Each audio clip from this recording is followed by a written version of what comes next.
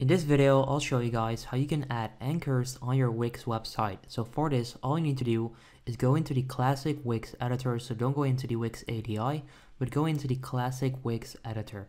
So once you're here, all you need to do is click on the plus icon. So click on add right there.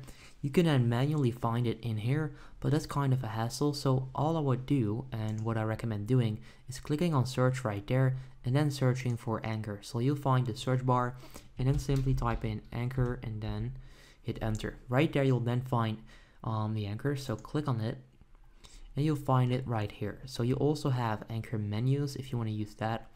I'll just go with this one click on it and then it will show up right here. So this is great if you want to lead visitors to a section on your site. So what you can do, you can move this around so you can drag this down.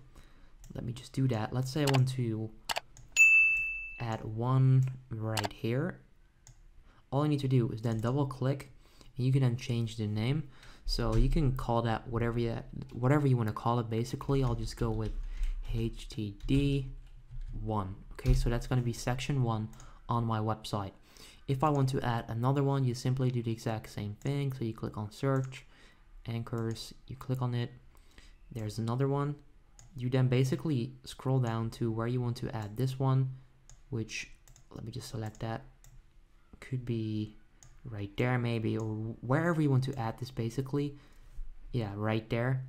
Once again double click and then you can change the name so I'll make this HTD2 and that's pretty much how you can do this. So if this simple quick tutorial helped you out, make sure you go ahead and leave a like on the video. I would appreciate that and then I'll see you in the next one. Have a good day.